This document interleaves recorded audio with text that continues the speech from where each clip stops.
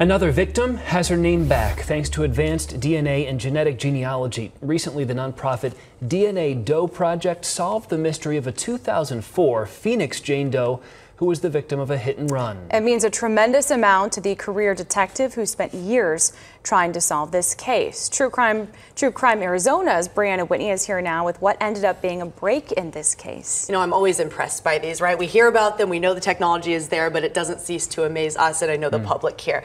This case was unsolved for almost 20 years, and it took something unexpected to solve it. But it's not just this case. The DNA Doe Project has solved numerous unsolved crimes here here in Phoenix alone, and it weighs on the heart of one man in particular.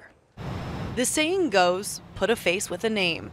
But in forensics, sometimes detectives can spend hours looking at a victim's face with no idea who they are. You're born with a name. That's the first thing you get in your life, and it should be the one thing you get to keep when you die and these people are denied that. Over his decades with the Phoenix Police Department, now retired Detective Stuart Somershoe spent years on missing persons cases, a long list of Jane and John Does.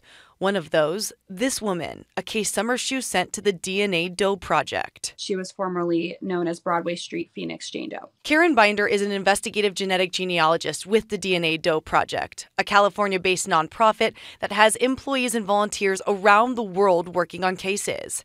Broadway Street Phoenix Doe was a difficult case. She was a victim of a hit and run accident, and um, all those years uh, we didn't know who she was. We had ran her fingerprints. We had you know had composites made uh, with no leads coming in. We've been working on this case for years, and what finally cracked it open is that Amelia's niece took a DNA test with Family Tree DNA. That one DNA test led to a match. Jane Doe was Amelia Munoz Laura, a 41 year old from Mexico. Amelia became a statistic that still haunts Somershoe. The numbers are staggering. You have 40,000 unidentified bodies in the United States. Uh, Arizona has one of the highest in the nation, where we have over 2,000 unidentified bodies here. Somershoe says Amelia's case is the sixth identification the DNA Doe Project has made with Phoenix PD alone, though they work on others in Arizona. He's so passionate about their purpose that he donates money to them personally, as their work is paying off worldwide. They've identified over 100 John and Jane Does in the last five years. Amelia now has her name back. The hope that Somershoe's other unidentified cases will soon find that same fate. You're kind of a caretaker for this person so you can get them back to their family. So it's very gratifying to finally say, hey, this is who this person was. These are the people who love them, and now they have an answer.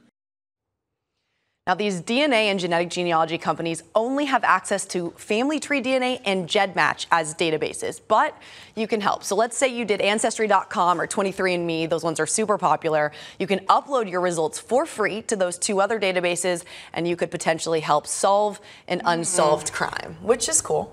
Yeah, it's so interesting yeah. how that technology has come so far. So we're going to see more and more of these, right? Yeah, I feel like we already have. I mean, I feel like I'm doing these cases a lot. We're looking at genetic genealogy, but it is crazy the, the more DNA that's uploaded to these databases, the more cold cases you'll crack because everyone's kind of connected in some sort of way, and sometimes they can solve with a fifth cousin or a sixth cousin. Mm. So, yes, you assume the more people that do this, the more cases that get solved. Do you think this will encourage people to do this, or maybe discourage certain people who are like, I want to stay kind of in the shadows, I suppose? Sure, I, I think maybe both. Yeah. Um, at least on the positive front, you can choose to upload it. You mm-hmm. only have access to these two databases. So, if you're somebody that wants to get your information but doesn't want to, you don't have to. Kind of, you can opt in if you want. Right, right, yeah. exactly. But it is being used positively, and I, I think as we go on and the years go on, I'd love to know in the next 10 years how the backlog of cold cases is looking. Will it be a lot, lot less? I think so. And really quickly, it's not the first time you've shown us what something like this means to a detective or a police yes. officer who worked on this 20 years ago. It sticks with them in their minds. It's really cool. I was talking yeah. about this at 8 o'clock, but to see him emotional about it, you know, we think about the officials and they're just doing the investigation but to have that emotional crossover, uh, he's really involved with the families. He's really involved with these cases. So yeah, it, it definitely is a, a, big part of his heart, and yeah. I love that about him and about some of these detectives I work with. It's an important side of this story. Very Thanks, much Briana. so. Yeah.